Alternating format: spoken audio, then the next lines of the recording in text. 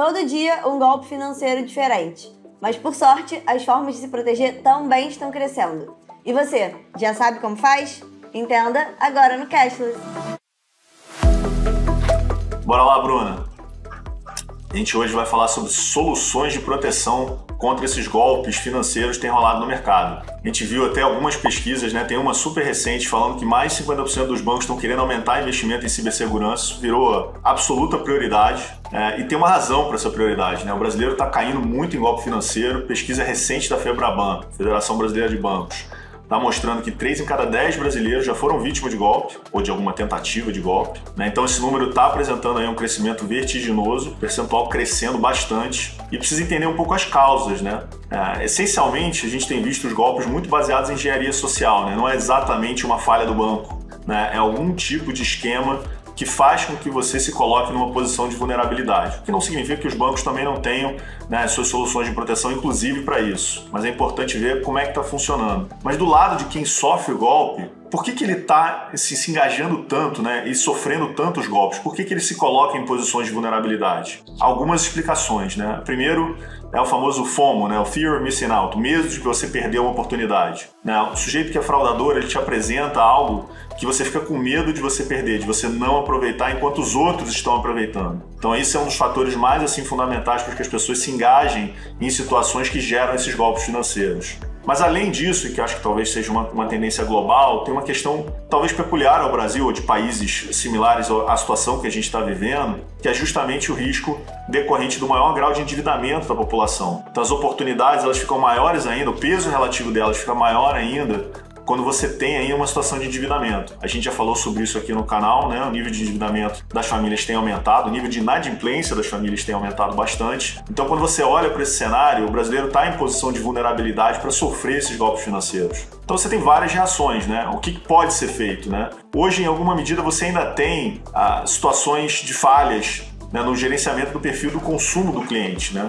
Que é basicamente você conseguir identificar os hábitos, né, as rotinas, né, onde o cliente está quando ele faz algum tipo de situação financeira, para você tentar evitar esse tipo de, de situação.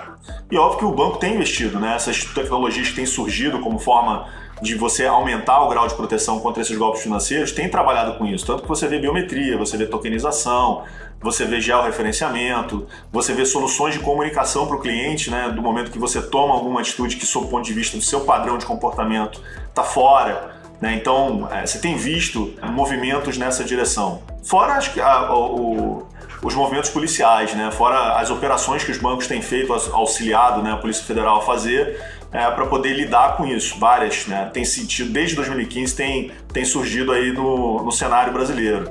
Você tem a Creeper, você tem a BR-153, tem várias operações que surgiram com essa ideia de começar a dar importância para golpes financeiros. Então, quando a gente olha para isso, né, é, para onde está se encaminhando o perfil da solução? Já tem algumas coisas voltadas para isso, mas você vê aí um cenário provavelmente maior de inteligência artificial, porque hoje, quando os bancos fazem algum tipo de medida, eles fazem na grande maioria das vezes, num comportamento e velocidade humanos, às vezes talvez como fonte reparatória, né? o depois do golpe ter acontecido.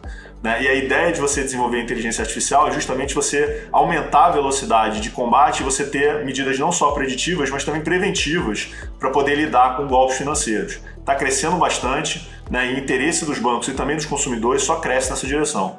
É, e assim, existe um, um, cenário que, além das, das soluções e do que está sendo proposto nessa linha de, de ser preventivo, existe também uma questão de que as pessoas, quando elas recebem informação, justamente porque a maioria dos golpes são engenharia social, né? Aquela coisa de tentar enganar, trabalhar na vulnerabilidade da pessoa, é que quando as pessoas recebem informação, elas ficam, acho que, acho que era 50% menos suscetíveis ao golpe. Tem ali o dado, a, a, o pessoal da edição vai colocar aqui para confirmar. Mas é. Elas tendo a informação de como o golpe funciona e o que, que elas têm que prestar atenção para não cair, é, acaba que isso ajuda muito. Então tem as soluções que vêm ali do lado do banco, né, para poder tornar aquilo menos. É, a chance de acontecer menor, mas tem também a solução meio que educação financeira, educação digital, para poder minimizar a chance da pessoa cair E aí a própria Febraban fez, né? Eles pegaram quais são os 10 golpes mais comuns para poder dar assim, ah, explicar o que que é, como evitar. É, e aí eu trouxe aqui para falar para as pessoas, então você vai ter que segurar um pouquinho, as pessoas vão ter que pegar o que anotar, porque são 10 golpes, é muito golpe, mas eu acho a informação relevante, é um update relevante no episódio que a gente fez, a gente falou só de um tipo de golpe. Então, né, inclusive botem aqui o link pro episódio. Mas eu vou falar aqui agora os 10 mais comuns, o que que eles fazem como evitar. O primeiro, né, não tão nenhuma ordem específica de qual é mais comum, tá só ali meio que uma ordem que a própria, o próprio estudo lá colocou. Mas o primeiro é a falsa central de atendimento, que é basicamente o fraudador vai entrar em contato com você ele se passa por um falso funcionário do banco ou empresa para que ele tenha algum relacionamento ativo. Ele fala: "Olha, sua conta foi invadida, foi clonada, algum outro problema" e fala, pede dados pessoais e financeiros. Pode mesmo pedir para que você ligue, né, para central do banco, ó, oh, liga aí no número que aparece atrás do cartão, mas continuar na linha para simular um atendimento, pedir dado. Então esse é um, um, um caso super comum de golpe. Ele, ele, ele trabalha com a vulnerabilidade da pessoa de senso de urgência né? Sua conta foi invadida, você sofreu um golpe, é o fraudador dizendo, usando a própria situação de fraude para te enganar. É, então a, a, principal forma de evitar é recebendo esse tipo de contato, sempre desconfia, desliga e só depois de desligar, liga para a instituição, usando celular, aplicativo, da melhor forma que você conseguir. Mas você entra em contato, porque o banco nunca liga para o cliente pedindo senha, pedindo o número do cartão, pedindo dado ou para fazer alguma transferência. Em geral, o, o, fraudador ele só está tentando trabalhar ali seu senso de urgência para você cair na, na fraude, né? O segundo é o golpe do falso motoboy esse eu confesso que eu também não conhecia, mas o golpe começa quando o cliente ele recebe uma ligação do golpista que vai se passar de novo por um funcionário do banco, mas dessa vez ele diz que o cartão foi fraudado, pede uma senha, pede que o cartão seja cortado, mas o chip não seja danificado e diz: "Olha, eu vou retirar o cartão na sua casa". E aí alguém vai lá, pega o cartão e como o chip não foi danificado, ele consegue fazer compras. É, mas de novo, a forma de evitar é a mesma, apesar do, da história ser diferente a forma de evitar é a mesma, até porque a engenharia social é parecida. É, os bancos não pedem o cartão de volta. Eles não mandam prestadores de serviço na sua casa para buscar esse cartão. Então, se você recebe esse tipo de ligação ou visita, não entrega nada, desliga e liga para o banco para perguntar. Você liga, eles não vão ligar para você. O terceiro já tem mais a ver com até a parte de compra na internet, né? Que é o golpe do falso leilão. Então, com, com o aumento desses anúncios né, de, de, de, internet, eles colocam produtos com preços bem abaixo do mercado para atrair, principalmente o que você falou, Ragazzo, de pessoas que até estão endividadas e precisam comprar alguma coisa. Eles trabalham com essa vulnerabilidade do preço. É, pedem transferências, depósitos, PIX para segurar a compra e nunca entregam. E aí eles trabalham essa urgência do negócio e essa questão do preço. Costumam pedir é, informação como CPF, número de conta. É, então eles conseguem roubar dado, roubar dinheiro. E a forma de evitar é sempre pesquisar a empresa de leilão em site, né? Então, conferir o CNPJ, nunca fazer transação financeira em site. Todos os sites que são seguros, eles têm um cadeado de segurança, né? Certificado digital fica sempre na primeira página, procurar esse certificado. Se não tiver, não fazer, para evitar cair nesse tipo de, de, golpe financeiro em situações online. O quarto, esse para mim é o mais comum, esse eu acho que não sei nem se as pessoas ainda caem, talvez sim, mas que é o golpe do WhatsApp que é quando o golpista, né, ele fala, manda, alguém clona o seu WhatsApp, né, e manda uma mensagem: Oi, mãe, preciso de dinheiro, alguma coisa assim. Mas eu acho que o que chamou atenção na descrição do como é, é como eles fazem para conseguir acesso ao seu WhatsApp. É, e eles, em geral, descobrem, né, ou eles conseguem de alguma forma o número do celular e o nome, e aí eles tentam cadastrar o seu WhatsApp no aparelho deles. Só que para isso, para concluir essa operação, precisa de um código de segurança que é enviado por SMS do seu celular. E aí, em geral, eles entram em contato fingindo ser serviço de atendimento ao cliente, de algum site de vendas ou de uma empresa que a vítima possa ter cadastro, pedindo código de segurança. Se a pessoa envia eles conseguem colocar o WhatsApp no aparelho deles. É a única forma de fazer? Não, mas é uma que é muito comum. Então, uma forma de evitar, um, No, no próprio WhatsApp, nas configurações, quando você clica em conta e depois em confirmação em duas etapas, isso ativa uma funcionalidade de segurança que te pede uma senha. Então isso diminui a chance de roubar o número. A outra é colocar nas configurações de privacidade do seu WhatsApp que a sua foto de perfil seja pública só para quem é seu contato, salvo no celular. Então as pessoas não conseguem usar sua foto para fazer golpe.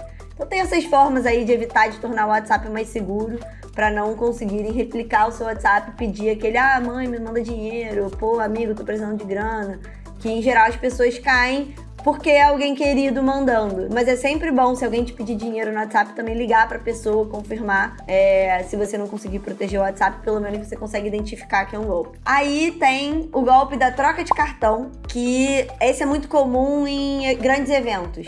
Você compra alguma coisa, entrega o cartão para passar na maquininha e a pessoa, em algum momento ali de desatenção, te devolve um cartão que não é o seu. E aí pode ser usar, fazer compras, ou ela te viu digitar a senha, ou o seu cartão tem aproximação, mas quando ela troca o seu cartão, ela consegue usar ele para fazer compras. Então a, a forma de evitar é ficar atento na hora das compras e de preferência, você colocar na maquininha, você passar na aproximação, né? Não, não entregar seu cartão na mão de ninguém. O sexto também é super comum, é o golpe do link falso. O nome técnico dele é phishing, que é quando te mandam um link falso, você clica nele e isso te expõe ao golpe. Isso é muito comum com e-mail de banco. Você recebe um e-mail do banco, parece o do banco, com algum link para atualizar cadastro. Você vai lá e clica nesse link faz alguma operação dentro dele que dá acesso ao fraudador aos seus dados ou ao seu dinheiro. A forma mais simples de evitar isso é sempre olhar o endereço do e-mail, o endereço do navegador,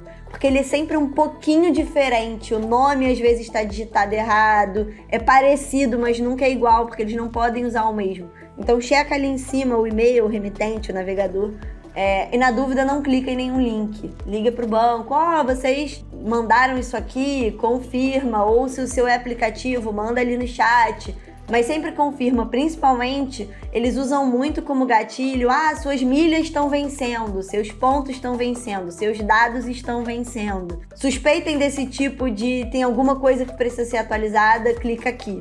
Isso não é feito dessa forma. Liga pro banco, fala ali no chat. O sétimo golpe, esse tem a ver com delivery e tá super comum, viralizando no Twitter direto, que é você pede, né, pega ali o aplicativo de comida, pede a comida, quando o entregador chega, ele te fala: Ó, oh, a maquininha quebrou, é, mostra o visor danificado, ou para você não conseguir ver o valor e coloca um valor muito maior e você ali na falta de atenção acaba não vendo. Ou você pagou no aplicativo, a comida já estava paga, e ele fala: "Olha, teve um problema no pagamento do aplicativo, paga aqui na maquininha". A forma de evitar é nunca faça isso. Se você já pagou no aplicativo, todos eles recomendam: "Olha, não aceite novas cobranças". Se alguém te fizer novas cobranças, entre você em contato com a gente. Então também não dá nem a pessoa fala: olha, eu vou entrar aqui em contato com, a, com o central de atendimento. Não aceita. Você tem que entrar em contato com o atendimento. E não aceite dupla cobrança. E não aceite fazer pagamento em nenhuma maquininha que esteja danificada. Então fala: ó, oh, tá danificado, pô, moço, então volta depois, troca a maquininha porque isso é um golpe que está se tornando muito comum porque as pessoas vão ali e nem veem o valor que está sendo cobrado. O outro golpe, são muitos, é o golpe do falso boleto. E esse é muito, muito fácil de cair, principalmente porque a gente não está tão acostumado a checar né, as informações. Mas o emissor do boleto falso, se ele tiver seus dados pessoais, você pode receber até em casa esse boleto falso. Então você nem está pensando que pode ser uma fraude. É, a forma de lidar com isso é toda vez que você for pagar um boleto, tenha ele chegado na sua casa, você tenha recebido ele por link, essa parte eles conseguem replicar. O que eles não conseguem replicar é a parte do de quem emitiu, né, o boleto. Então você tem que checar o CNPJ, o CPF, você tem que checar o código, os três primeiros números ali do código de barra, eles correspondem ao código do banco. Vê se é o mesmo, vê se é o mesmo valor, vê se é a mesma data de vencimento. Esse tipo de informação costuma ser diferente. Ter os seus dados no boleto não é suficiente. Em geral, o boleto falso é convincente justamente por isso. Então, galera, tem que ficar ligado. E aí, as duas últimas têm a ver, elas são meio que tem a ver com todas as outras mas a nona tem a ver com proteção de dados no celular ou no dispositivo. É o que a gente falou no último episódio. O golpe é o roubo do celular agora para poder não necessariamente pegar o aparelho, mas para poder conseguir usar dados guardados em e-mail, rede social ou outras ferramentas para poder acessar e mudar a senha de aplicativo de banco, né? Entrar na sua conta e roubar seu dinheiro. A gente já falou mais desse, né? Já apareceu, já botou o link aqui, mas bota de novo. E a principal forma de evitar, a gente já falou, né? Não salva sua senha, não, não, não digita ela em lugar nenhum no seu celular. Não deixa seu e-mail de recuperação cadastrado no celular. Uma que a gente nem detalhou muito, mas que é legal, tenha anotado o código do e-mail do celular. É, o que, que é o e-mail? É um número de identificação do seu celular, é um código com 15 dígitos que, se você entrega ele para a operadora, a operadora apaga seu celular, né? E aí, para você descobrir esse número, você abre aí seu telefone, pega o teclado e digita. O pessoal da edição vai colocar aqui também. Asterisco, hashtag 06, hashtag. E aí o número do e-mail aparece na tela para você poder ter ele anotado. Fui roubado? Liga para operadora, dá o número isso já te garante que não vão conseguir mexer mais no seu telefone. E o último, dos, não é nem um golpe, né? Eles colocaram ali dentro dos golpes, acho que é mais uma dica, que é o cuidado com as senhas, porque os golpistas só conseguem entrar na sua conta bancária usando suas senhas e seus dados. E assim eles podem conseguir essa informação de várias formas. Quase todos os golpes que eu falei aqui são histórias bem contadas para conseguir a sua informação e que você mesmo dê essa informação. Então, não dê a sua senha para ninguém, não divida, o banco nunca pede por telefone. Então eles sempre falam muito isso, olha, a gente não vai ligar pedindo a sua senha, a gente não vai te mandar um e-mail pedindo a sua senha. Então tenham isso em mente. E é isso, acho que assim, falei muito, são muitos golpes, os fraudadores estão cada vez mais criativos. Mas acho que é importante dar esse update para as pessoas, saber o que elas têm que prestar atenção, porque agora quem assiste o Cashless vai olhar lá, vai receber um telefonema pedindo senha e vai falar: pô, não, meu banco não me pede senha por telefone e não vai cair no golpe. Então acho que vale aí o excesso de, de fala.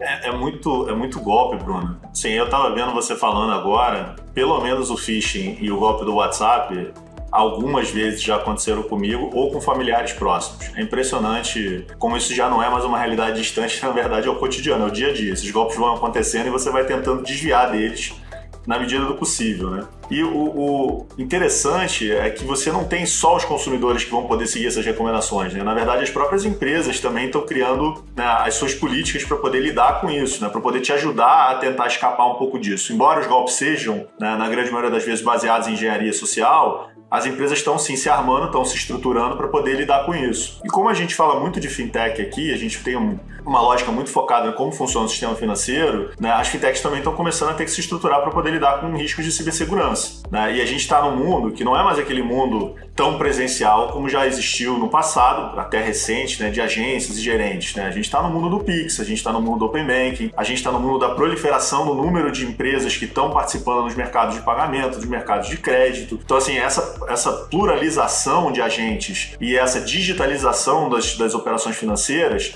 elas são muito, sim, é, é, elas levam esse risco né, e exponencializam esse risco de uma forma que a gente nunca viu antes. Né? Os golpes pessoais estão sendo absolutamente substituídos pelos golpes digitais. Então, como é que elas fazem? Né? Primeiro, elas estão mudando um pouco de foco, né? porque grande parte dos recursos eram feitos em desenvolvimento de produto. Né? Então, não tinha um foco muito específico em segurança de informação e segurança cibernética. Agora isso está mudando. E elas estão montando programas de compliance para poder lidar com esses riscos cibernéticos. E para começar esse programa de compliance, né? aliás, é, isso é um padrão. Se você está fazendo um compliance para LGPD, se você está fazendo um compliance anticorrupção, você começa com uma avaliação de risco. E aqui você está fazendo uma avaliação de risco cibernético. Basicamente, você está mapeando as ameaças, as vulnerabilidades, né, o que tem assim de perfil de risco, e você hierarquiza esse perfil de risco para ver o que de fato é maior, o que de fato é menor, de acordo com a sua operação, de acordo com os riscos e vulnerabilidades da sua operação. A partir dessa avaliação, você vai montar uma política. Né? Você vai ver quais são as ações que você vai implementar para poder lidar com essas ameaças e com essas vulnerabilidades. E aí você tem milhares de formas. Né? Você falou muito de usos de senha, né, procedimentos de segurança. Eu estava lembrando na FGV, por exemplo, a gente passou por várias mudanças agora. Né? O próprio acesso ao e-mail nosso, que era só via senha, agora está em duas etapas. Né? Uh, isso criando né, uma camada adicional porque provavelmente teve muito phishing, né? Teve muita tentativa de golpe, aí você está tendo assim, uma, um desenvolvimento mais sofisticado né, dos procedimentos de segurança que existiam dentro da instituição. E tem uma, uma, uma parte que é muito comum né, nesses programas de compliance, nesses protocolos de segurança, que é o treinamento. Um pouco que você fez, que é dizer para as pessoas quais são os riscos, as empresas estão fazendo de maneira ativa também com os seus consumidores, né? É uma forma de você se atentar, né, e não cair nesse risco de engenharia social ou de outra natureza, para poder aumentar a possibilidade de reação, né, e você não cair nesse golpe, porque são vários, né, e eles mudam a cada dia. Aliás, isso é uma outra coisa também no programa de compliance desse protocolo de segurança cibernética, né? Essa avaliação de risco que você faz, ela, você precisa fazer isso de tempos em tempos, né? Porque as suas vulnerabilidades mudam, né? O seu perfil de produto muda e o tipo de golpe também muda. Esses 10 que você falou, é, eles já, eles já são meio que o, o, resultado de 2021, né? Que teve esse, esse crescimento exponencial no número de golpes. Né? Eles se diversificaram. Antigamente eles eram mais focados em dois ou três do que você mencionou, e agora eles estão se pluralizando. E você precisa ter um plano de resposta, né? Que é uma ideia de um plano de ação, né? Se acontecer um incidente, como é que você vai reagir? Qual é a forma que a empresa vai lidar com isso para tentar minimizar? Né? Então, além disso tudo, que já é bastante coisa, você tem que começar a se preocupar com terceiros, né? Os provedores de infraestrutura para você.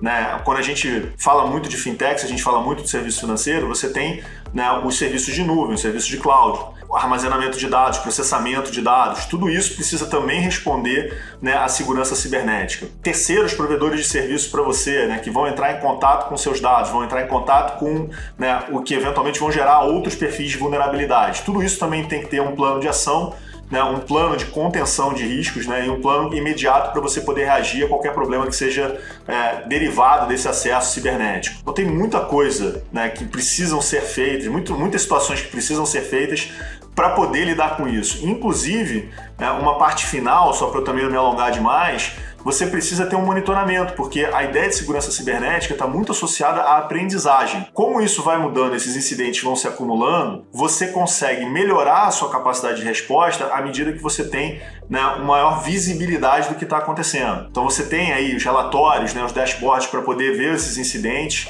e também sua capacidade de resposta a esses incidentes. Então a ideia é que as empresas vão ter que se estruturar, e as fintechs também estão se estruturando, para poder lidar de forma mais ativa com esse risco cibernético. É, e assim, não vou também prolongar porque já falei muito, mas eu acho que para dar só um exemplo aqui do que você falou e até acho que acalmar um pouco o coração do brasileiro que acabou de ouvir todas essas possibilidades de golpe possível, é muita coisa, mas apesar disso, acho que tem uns dados legais que eu vou passar rapidinho, que é o Brasil tem visto um crescimento bem forte no surgimento de empresas, startups, focadas em cibersegurança. Então elas são chamadas de cybertechs e o mercado de cybertech nacional cresceu bastante. Então em 2021 a gente fechou o ano com 227 startups de segurança. É um, com um investimento de 294 milhões de dólares investidos apenas em 2020 e 2021. Então elas estão incluindo ali é, a parte de identidade, proteção de dado, de gestão de risco, de segurança de transação. Tudo isso que você falou está crescendo no Brasil. Então, para todo efeito, para todo, para toda ação existe uma reação, né? a reação tá vindo para fazer as pessoas se sentirem mais seguras e a gente vai continuar acompanhando, tanto atualizando vocês quando acontecer algum novo perfil de golpe surgindo, mas também quando as soluções começarem a crescer. E para poder saber o que está acontecendo, vocês já sabem, é só se inscrever no canal, ativar o sininho e até semana que vem. Se protege e clica no sininho. Valeu!